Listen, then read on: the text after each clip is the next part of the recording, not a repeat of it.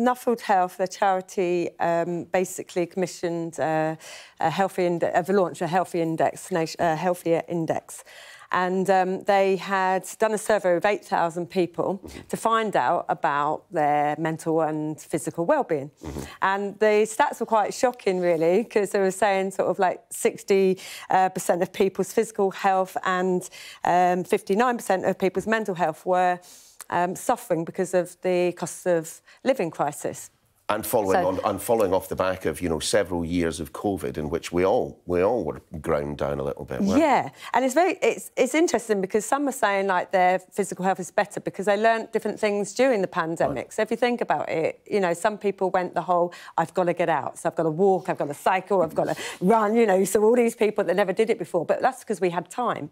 Now we're getting back into our, our uh, busier lifestyles, aren't we? And what people are saying is that it's having a huge impact on their physical and mental health. But people aren't looking at the correlation between the both. Mm. So five, but five extra minutes. Yeah. I mean, to me, that, that, that doesn't sound an awful lot, given, given that, you know, I've lived my professional life in 15-minute chunks. But, yes. but, but five minutes can really have a, have a turnaround effect for people. Yeah, because sometimes it's just um, mindset, isn't mm -hmm. it, changing? So, as you mentioned, you know, if you got off the bus, let's say, at the stop before the one you should have, that's mm -hmm. a quick, brisk walk. You've made a conscious decision to change. You know, if you um, are looking, even if you're looking online and taking five minutes to see what can you do at home to do exercise. So there's so much free resources online, isn't there, that you can actually take that conscious decision. Breathing techniques, take uh, five minutes earlier of putting your phone down before you go to bed. You know, all things that are more healthier for you are going to help you de-stress, lose that anxiety. They're saying that we should have, and I, I didn't even realise this stat, between seven to nine hours of sleep at night. But on right. average, sorry, people speaking get... on behalf of the entire breakfast right. team, that is not it's possible. It's not happening. But on average, it's five hours and fifty-four minutes. Mm. Now, if that's the average, and yet you're meant to be getting mm. between seven and nine, that's not good, is it? And no. people are saying they're stressed, they can't sleep, and sleep is a really big thing. And I'm bad at it myself. Yeah. So there are little conscious things that we can change, and that actually only takes five minutes think about it.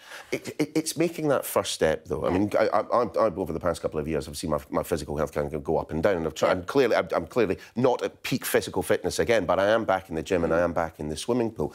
But it was getting started. Yeah. That was the biggest issue for me. I mean, given given your pedigree and given the kind of sports psychology that you, the psychologist you will have worked with, how do you how do you take that first step? How do you work up the courage to start yourself on the road to getting yourself slightly better? I think it is taking accountability of yourself because most people's mental health will suffer if their physical health isn't good and vice versa.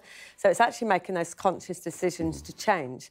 Now, if everybody knows when they don't feel that great about themselves, whether that's physically or mentally. And actually, you can go for a really five minutes walk. You can make a conscious decision instead of actually watching the ads during a break of your show. Get up and move. You know, going up downstairs, going out for that quick extra walk, kind of just moving the body can have a big positive effect.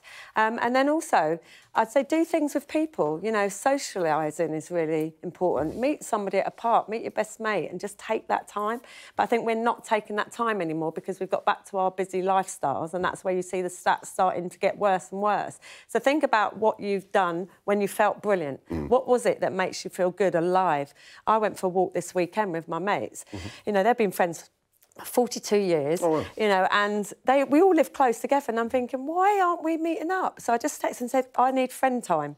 And I literally said, I need some friend time because I was so stressed and anxious because I've been so busy. Mm. And I thought, do you know what? And do you know, it was the best thing. I had loves, we went for a walk, and I felt so good when I got back. I was just ready for my week again. I see, I, I think some people who've been listening to that will, will have been slightly shocked that, that mm. someone who has dealt with, you know, mm. professional sport at the level that you were at, mm. Can, could, could even experience stress in, in the first place? Oh, well, I've had a lot of mental health problems, mm. like I have, and I'm very open with it mm. because, you know, our lifestyles change and, you know, we go through different parts of our life where they have lots of impacts. Mm. And there's been times where the adverse effect on my mental health has actually given me um, the sense of I can't be bothered, I'm not motivated, you know, I just uh, lethargic. Mm -hmm. And actually, if I think about it, I'm thinking, but that's what also makes me good when I move. So I have to take that accountability of myself as well. That when I'm feeling low and I'm feeling like frustrated, the last thing you want to do sometimes you just want to wrap up and stay indoors or yeah. stay in bed. But actually i know that if i get myself up and going that endorphins adrenaline will make me feel better and happier. So it is us looking at our lifestyles and going do you know what? I it's stressful anyway. Life is stressful anyway for so many people. We all know that. But if you could actually go do you know what? I am going to take that five minutes for me, and I don't care. It's non-negotiable to think about yourself and to think about your health. And so I think we should all take that into account. I think we should. But, but it's the idea, I think, that will be refreshing for some people to hear. Mm. You don't need to go out and run a marathon. No. You don't need to be going to the gym five days a week. You don't need to be doing kind of the level of training that you obviously did when, you, when, when, you, were, when you were at your peak. No. But five minutes and doing something. We've, you've, yeah. you've given us one example, getting off the bus a stop earlier. Give us another couple. OK, so a lot of people have stairs at home, like going up and down the stairs. That gets your heart rate up, right? But you can see how unfit you are when you do it even once. So you could go up and down your stairs, you can do little step ups on your stairs, you can go online. There's so many free examples of fitness. So core, upper body, even with like tins or like your big bottle, two litre bottles of water. If that's all you've got, sit there on your sofa, using your arms, pressing it up, you know, you can... It, do you know what? It is arm so day for me today. So there you go. We could, we could do, do a little few of... And then I'll do my There we go. We could do some well. tricep dips off the end of the bench. No, but there is lots... maybe, no. maybe not. Some people still have not had their breakfast yet. No, but there, there, there are things. And when you say five minutes, people say five minutes can't make a difference.